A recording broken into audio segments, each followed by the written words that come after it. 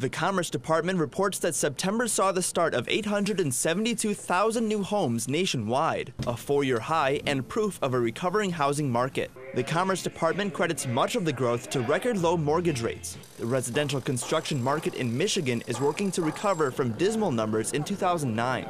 From 2005 to 2009, the number of new homes built fell by more than 85%. Where we used to build uh 35,000 to 53,000 homes in, a, in, an average year. Uh, in a range between there, we dropped off to where we were building 5,000 homes a year. Schwartz reports that 2011's numbers were up to over 8,000 new homes, and 2012 is looking even better. A greater demand for new homes also encourages job growth. Construction industry is one of the backbones of uh, our local economy. Uh, it, it's a pretty well-known federal statistic that for every home built in the United States, it creates and sustains three jobs, both directly and indirectly.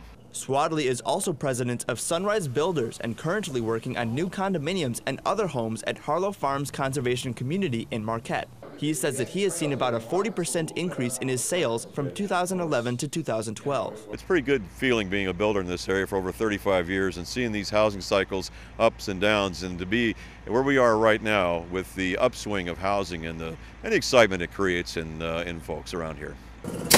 It's much less than it was for when we were building on average 35,000 a year, but it's a great sign that things are getting better for everybody in the state of Michigan.